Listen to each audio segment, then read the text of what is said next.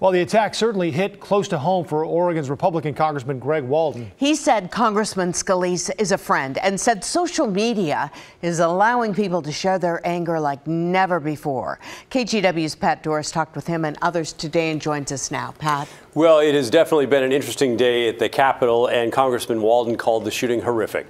And the, he said it was as unexpected as the attack on Portland's MAX train.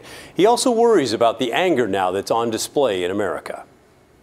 Greg Walden said it's easy to find anger focused at politics on social media. Then um, what I'm afraid what we're seeing is some of that uh, online anger beginning to spill out in, in person. Walden considers the wounded congressman a friend and said he's praying for him.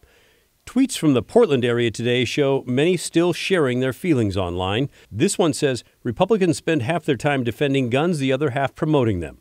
Another reads, those proclaiming we need love in this country are the very ones perpetuating the hate, division, and violence. Here Portland State political again. scientist Ron Tammen says we should be disturbed but not surprised by the violence today. Violence has always been a part of American society.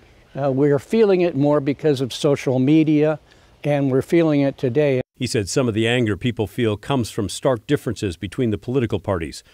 But there is more. Some political leaders have said it's okay to speak your mind. It's okay to have your biases out there. It's okay to wear your anger on your sleeve. And that's also part of this backdrop. I tried to ask Congressman Walden about that. I've heard some point the finger at the president for his rhetoric and sort of letting the genie out As of the bottle. Do you think any today, today is a day to focus um, not a motivation. Today's is a day to focus on those who are fighting for their lives. Those people were on the minds of many today, including Oregon's Democratic Senator Ron Wyden.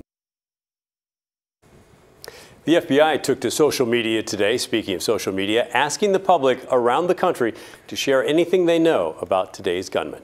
Back to you.